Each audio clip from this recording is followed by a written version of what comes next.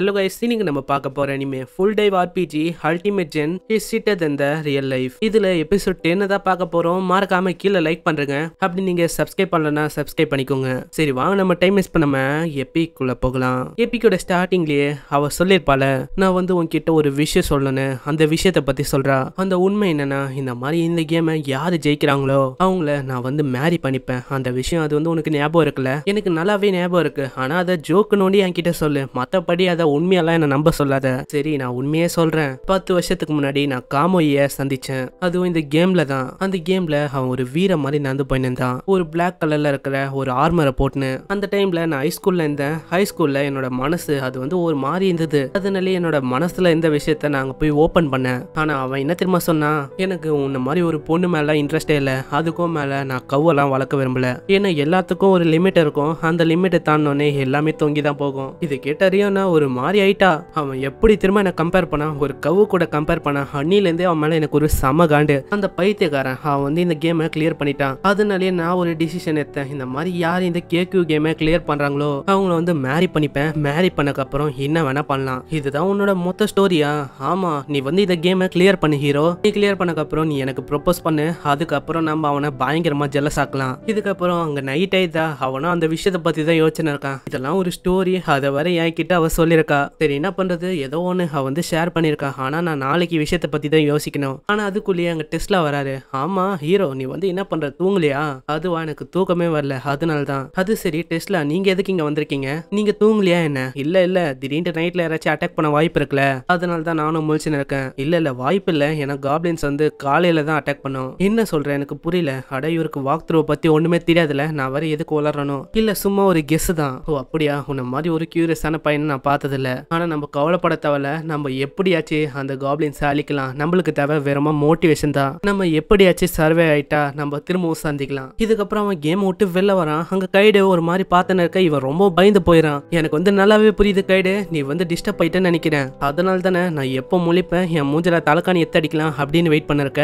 என்ன எதுக்கு வந்து இப்படி ஆக்ட் பண்ணிருக்க? நான் சொல்ல போனா இங்க வந்து கதவை தட்டினேன். கடந்த பத்து நிமிஷமா நான் தட்டி நின்றேன் இருந்தாலும் எந்த விதமான பதிலும் வரல. சோ அதனால நான் ஒரு மாதிரி பண்ணிட்டு உள்ள வந்துட்டேன். ஓ எனக்கு புரியுது. நீ வந்து என்னை பத்தி கவலைப்பட்டிருக்க. இல்ல இல்ல நான் அந்த மாதிரிலாம் ஒன்றும் கவலைப்படல. என்ன செக் பண்றது? அது வந்து அவ்வளோ பெரிய கிரைம்லாம் இல்லைல்ல சரி ஏதோ ஒன்று நீ கவலைப்பட்டிருக்க அதுதானே.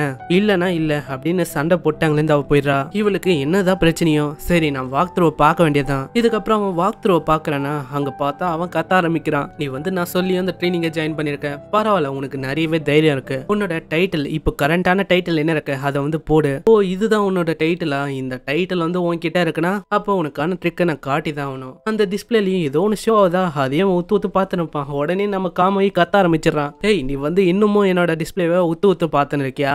ஏன்னா உன்னை பார்த்தா எப்படி தெரியுமா இருக்கு? ஏதோ நான் சொல்லி நீ வந்து எல்லாமே பண்ற மாதிரி இருக்கு. அப்போ எதுக்கு நீ இந்த வாக் த்ரோ உருவாக்குன? இந்த வாக் த்ரோ உருவாக்குனதே நீ தான் இப்போ அதனால நான் பார்த்துன்னு இருக்கேன். அதுக்கும் மேல இப்போ அதை பார்த்தா நீ என்ன கத்துற? இவனெல்லாம் நம்பினா வேலைக்கு ஆகுது. நான் அப்படியே கேமுக்குள்ள போய் என்ன நடக்கும்னு பார்த்துக்க வேண்டியதான் இதுக்கப்புறம் அவன் கேமை லாகின் பண்றானா? அங்க டெஸ்ட்லா கிட்ட இவங்க எல்லாருமே நின்று இருக்காங்க ஏய் நீ உன்னோட சோடை நல்லா பாலிஷ் பண்ணல. நான் நல்லாவே பாலிஷ் பண்ணேன். சரி சாப்பிட்டியா? நான் சாப்பிட்டேன். சரி மூச்சா போனியா? நான் மூச்சாவும் போயிட்டேன். சரி நம்பர் டூ அதுக்கு போனல. அதையும் நான் போயிட்டேன். சரி அப்போனா குட் நம்ம வந்து இப்போ அவங்க சொல்ற மாதிரி எல்லாத்தையும் ஃபாலோ பண்ணாலே போதும். இதுக்கப்புறம் அங்க டெஸ்ட்லாம் அவன் சொல்றாரு. ஹே காய்ஸ் எல்லாருமே கேளுங்க. நம்ம குழுக்கு இன்னமும் ரெண்டு பேர் வந்து ஜாயின் பண்றாங்க. ஓ எனக்கு நல்லாவே புரியுது. அந்த கிரெனேடாவும் அந்த ஆமஸும் வெளில போனாங்களே. அதுக்காக தான் இவங்க ரெண்டு பேர் போல. யாராதுன்னு பார்த்தா நம்ம அலிஷியாவும் அந்த இன்க்யூட்டர் மிசரிஸ் அந்த பொண்ணு. அட இவங்க ரெண்டு பேரா? ஏற்கனவே இந்த காப்ளின் தொலை தாங்க முடியல. அதுக்கும் மேல இது. இதுங்களை கம்பேர் பண்ண அந்த காப்ளினே பரவாயில்ல. அங்க மீசரிஸா கத்துறா. ஹே ஹீரோ நீ வந்து இன்னைக்கு பேண்ட்ல மூச்சா போனியா? இல்ல இல்ல நான் எதுக்கு மூச்சா போக போறேன்? நான் என்ன ஒரு குழந்தையா? என்ன டெய்லிக்கும் அதுல மூச்சா போறதுக்கு? அங்க அலிஷியாவும் சொல்றேன் உங்களை சந்திச்சதுல ரொம்ப சந்தோஷம். அப்படியே நம்ம ஹீரோவையும் பார்த்து ஒரு பயங்கரமான லுக் விடுறா. இதை பார்த்து நம்ம ஹீரோ ரொம்ப பயந்து போயிடறான் ஹே ஹே நீ வந்து பயப்பட தேவையில்ல. ஏன்னா இவங்க ரெண்டு பேரும் நம்மளோட குழுக்கு வந்து ஜாயின் ஆகுறது. அது ரொம்ப நல்ல விஷயம் தான் நான் சொல்லுவேன். இதை தான் நம்ம கேம்ல ஹேரம்னு சொல்லுவோம். அதுக்கு நடுவுல நீ மாட்டின்னு இருக்க அவ்வளவுதான். என்னது இது உங்க ஊர்ல ஹேரமா ஏன்னா நான் வேற நடுவுல மாட்டின்னு இருக்கேன். எனக்கு தான் என்னோட கஷ்டம் தெரியும். ஒரு பொண்ணு என்னன்னா என்னோட காலுக்கையே எப்போ வெட்டலான்னு பார்த்துன்னு இருக்கா. இன்னொரு ஒரு பொண்ணு என்னன்னா அவனோட அண்ணனை கொன்னதுக்காக என்ன பழி வாங்கணும்னு பார்த்துன்னு இருக்கா. இதுக்கப்புறம் அங்க டெஸ்ட்லாம் வந்து அனௌன்ஸ்மெண்ட் கொடுக்குறாரு. நீங்க வந்து இன்னைக்கு என்ன பண்ண போறீங்கன்னா நிறைய இடத்துல கிரைம் வந்து ஏறிக்கினே இருக்கு. அது எல்லாத்தையும் நீங்க தான் தடுக்க போறீங்க. அதனால எல்லாருமே அதை தடுங்க. அதுதான் நம்மளோட ஜாப் இந்த சைடு நம்ம ஹீரோக்கும் அங்க ஒண்ணுமே புரியல. ஏன்னா காப்ளினோட அட்டாக் அது வந்து என்ன ஆச்சு காப்ளின் வந்து அட்டாக் பண்ணலையா என்ன? எனக்கு தெரிஞ்ச வரைக்கும் கிரைமை தான் இன்னைக்கு நம்ம பாத்துக்கணும்னு நினைக்கிறேன். ஆனா அதுக்குள்ளே அதுக்குள்ளேயே டெஸ்லா கூப்பிடுறாரு. ஹே ஹீரோ என்ன பண்ணு? சவுத் சைடுக்கா இன்னைக்கு போ. இந்த ரெண்டு பொண்ணுங்க இவங்க வந்து உனக்கு அக்கம்பெனி பண்ணிப்பாங்க. அங்க அவங்களும் ஒரு மாதிரி டெரரா பார்த்துன்னு இருக்காங்க. நான் ஏன் இப்படி சொல்றேன்னா இந்த மாதிரி நம்ம மீசோ ரிஸ்தா அவளுக்கும் உனக்கும் கெமிஸ்ட்ரி நல்லா ஒத்து போகும் போல. ஏன்னா அந்த பொண்ணு உன் கூட பழகுறதுலயே எனக்கு தெரியுது. பின்னாடி அலிஷாவும் ஒரு மாதிரி பயங்கரமா ஆறாவோட வரா கொல்லான்னு. அங்க ஹீரோவும் பயந்து போய் சொல்றான் டெஸ்லா சாரு இப்போ நான் என்ன பண்றது? அந்த பொண்ணு எனக்கு கொலை பண்ணாலும் பண்ண வாய்ப்பு இருக்கு. இது வந்து அப்படிலாம் சொல்லக்கூடாது. டீம் மேட்ச் வந்து எதுக்கு அப்படி பண்ண போறாங்க? அதுக்கும் மேல அவ அப்படிலாம் பண்ண மாட்டேன் நீ கவலைப்பட தேவையில்ல. இதனால இவங்களுக்கும் வேற வழி இல்லாம இவங்க எல்லாருமே ஒன்னா போக ஆரம்பிக்கிறாங்க. அங்க மீசரிஸ் அவன் கேக்குறான். ஆமா அந்த பின்னாடி அந்த பொண்ணு வருதுல அந்த பொண்ணு நம்ம கூட வர்றது நல்ல விஷயம் தானா? ஏன்னா அவ வந்து ஏதாச்சும் பிரச்சனை வராதா என்ன? ஏன்னா போன வாட்டி அவ என்ன பயங்கரமா அடிச்சா எங்க ரெண்டு பேருக்குள்ள பயங்கரமா சண்டையும் நடந்தது. ஏன் இத்தனைக்கும் நான் வரலன்னா நீ வந்து இப்போதைக்கு உயிரோட கூட இருந்திருக்க மாட்டேன் அவள மாதிரி ஒரு பொண்ணு நம்ம கூட வர்றது பிரச்சனை தான். ஆமா அப்படி நீ ஒன்றும் பிரச்சனையே இல்லை பாரு எனக்கு. நீயும் ஒரு பிரச்சனை தான். என்னது நீ வந்து எதுக்கு அப்படி சொல்ற? நம்ம என்ன அப்படியா பழகணும்? ஏய் நீ வந்து அவளை அப்படி திட்டக்கூடாது. ஏன்னா நம்ம மீசோரிசா வந்து உன் கூட ஃப்ரெண்ட் ஆகணும்னு பாக்குறா. ஆனா நம்ம அலிஷாவை பத்தி தெரியல. ஆனா மீசோரிசா கூட நீ ஃப்ரெண்ட் ஆக வாய்ப்பு இருக்கு. நீ என்ன சொல்ற? இந்த பொண்ணு கூட நான் ஃப்ரெண்டா இருக்கணுமா? அதுக்கு எப்போ வாய்ப்பு கிடைக்கும்? என் கால் கையை எப்போ வெட்டலான்னு அது காத்துன்னு இருக்கு. ஆனா எனக்கு ஒரே ஒரு விஷயம் புரியல. இந்த காப்ளின் சீஜ் அது வந்து நடக்காதான் என்ன? அதுக்கும் மேல இந்த கிரைமை நம்ம தடுக்கிறதுக்கு நம்ம எதுக்கு இங்க வந்திருக்கோம்? ஏதோ ஒரு விஷயம் இருக்கு போல. ஏன்னா நம்ம போற இடம் அது வந்து கெஞ்சியோட ஏரியா இப்படி இவங்களும் பேசினே போயின்னு இருப்பாங்களா? அங்க பார்த்தா ஏதோ ஒரு பொம்பளை பயங்கரமா கத்துது. இன்னதுடா ஆச்சு? அப்படின்னு இவங்களும் பாக்குறாங்களா? அங்க எவனோ ஒருத்தன் பேக் அப்படியே திருடிட்டு ஓட ஆரம்பிக்கிறான். நம்ம ஹீரோ ஹீரோவை தடுக்கலான்னு பாக்குறான். இருந்தாலும் அவனை தள்ளி விட்டு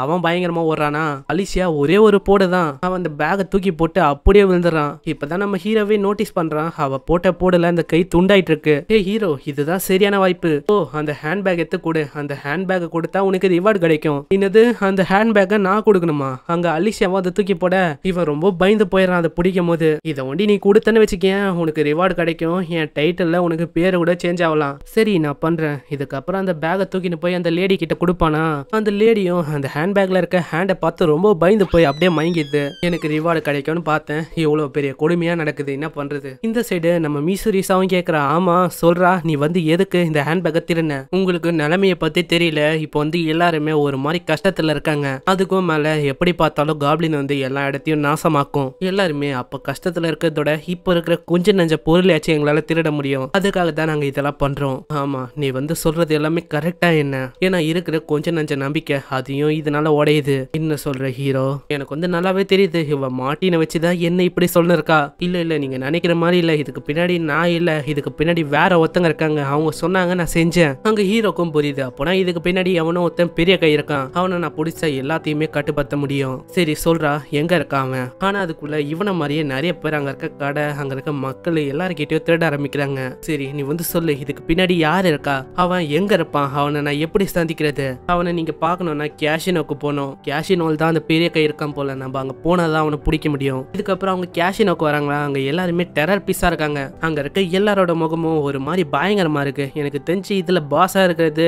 அங்க ஒரு மொட்டை இருக்கான்ல அவன் தான் பாஸ் நினைக்கிறேன். அப்ப என்னால அவனை பார்த்துக்க முடியும்னு நினைக்கிறேன். இல்ல இல்ல நீ வந்து இங்கே இரு. நீ அங்க போய் மூச்சா போயிட்டு அசிங்கமாயிடும். அதனால நானே பாத்துக்கிறேன் அதுவும் நல்ல ஐடியா தான். நான் வந்து இங்க இருக்க ஆளுங்களை எப்படியாச்சும் காப்பாத்த பாக்குறேன் நானும் அலிஷியாவும் அந்த மொட்டையை பாத்துக்கிறோம் இதுக்கப்புறம் அவங்க நடுவுல பூந்து அங்க பயங்கரமா சண்டை போட ஆரம்பிக்கிறாங்க. இதுதான் நம்ம ஹீரோக்கும் ஒரு கரெக்டான வாய்ப்பா இருக்கா? அவன் அங்க இருக்கிற ஆளுங்களை ஹெல்ப் பண்ண பாக்குறான். இப்போதான் அவனே நோட்டீஸ் பண்றான் சைட்ல நம்ம கெஞ்சி இருக்கான். ஏ கெஞ்சி நீ வந்து என்ன பண்ற? நீயும் மாட்டிக்கினியா என்ன? ஆமா நானும் வசமா மாட்டிக்கிறேன். என்னை வந்து எப்படி தெரியுமா இவங்க ட்ரீட் பண்றாங்க? என்ன ஒரு லைஃப் ஸ்டாக் மாதிரி ட்ரீட் பண்றாங்க. என்ன பெட் கட்டிலாம் வேற வாங்கியிருக்காங்க. ஓ அப்படியா? சரி ஏதோ உனக்கு கெஞ்சி நான் உன்னை காப்பாத்துறேன். இந்த சைடு அங்க இருக்க எல்லாரையுமே அடிச்சிடறாங்களா? கடைசியில தான் அந்த மொட்டையை சொல்றான். ஏய் கெஞ்சி இந்த மாதிரி நீ வந்து இதெல்லாம் சொல்லிடா இந்த மாதிரி ஃபைட் நடக்கும்னு. அங்க ஒத்துக்கணும் எல்லா கண்டிஷனுக்கும் ஆனா இதுக்கு நாங்க ஒத்துக்கல. இப்போதான் நம்மளுக்கே புரியுது இந்த மாஸ்டர் மைண்ட் வேற யாரும் இல்ல நம்ம கெஞ்சி தான். அங்க கெஞ்சி ரிலீஸ் ஆன அத்த செகண்ட் நம்ம ஹீரோவை அப்படியே போட்டு நசுக்க ஆரம்பிக்கிறான். யாராச்சும் முன்னாடி வர பாத்தீங்க அவ்வளவுதான். இவனோட மண்டை எல்லாம் மண்டை. அது அப்படியே நசுங்கி பிதுங்கிடும் பாத்துக்கோங்க.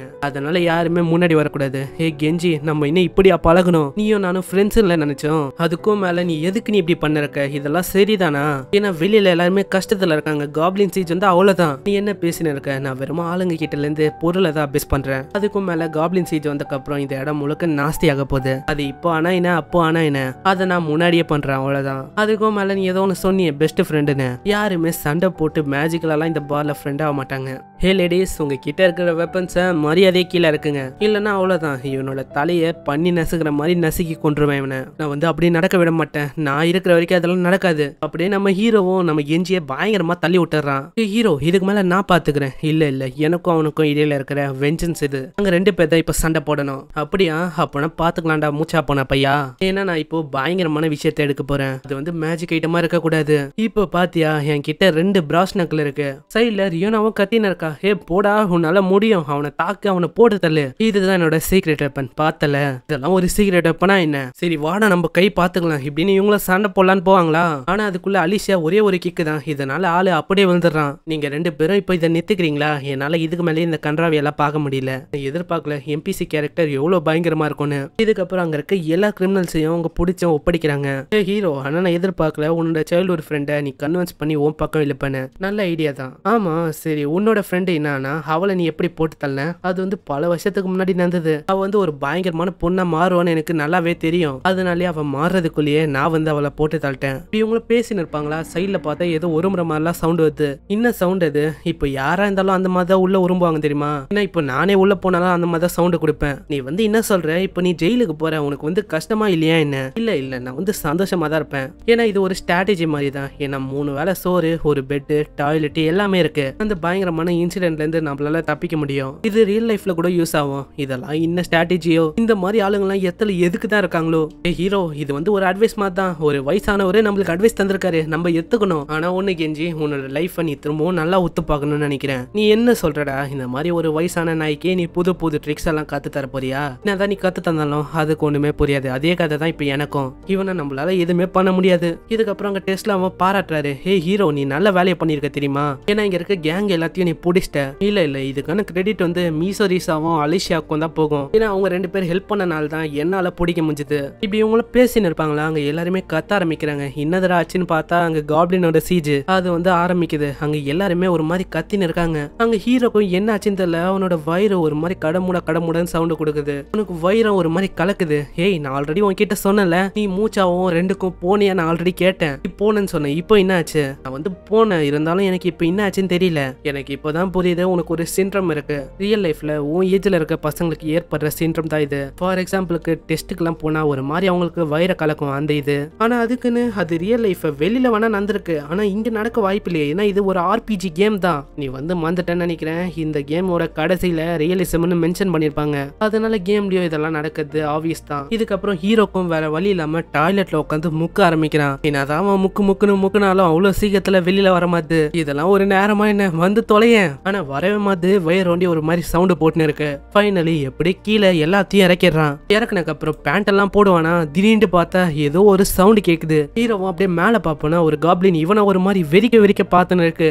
பார்த்து ஹீரோ ரொம்ப பயந்து போயிடுறான். ஆமா நீ வந்து என்ன பண்ண இருக்க ஒரு பையன் காக்கா போய் நின்றா அதை பார்த்து நிற்பியா என்ன? இப்படி இவன் பயங்கரமா கத்துறதோட இங்க இந்த எபிசோட முடியுது. இந்த எபிசோட் பிடிச்சிருக்கும்னு நினைக்கிறேன். அப்படி பிடிச்சிருந்தா மறக்காம லைக் பண்ணுங்க. பார்க்கலாம் எத்தனை பேருக்கு பிடிச்சிருக்குன்னு.